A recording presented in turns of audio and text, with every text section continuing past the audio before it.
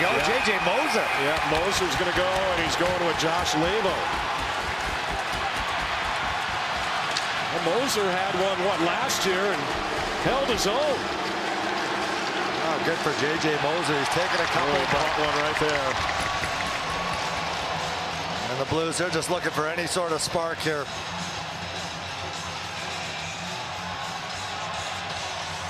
So Josh Leivo, J.J. Moser, they drop him. Uh, he's leaking a little bit out of that right eye. Penalty box, uh, getting into a fight with J.J. Moser, who's now uh, getting some attention in the locker room. Yeah, getting stitched up. Took a couple there. Went down awkwardly and just hit that right eyebrow on the ice.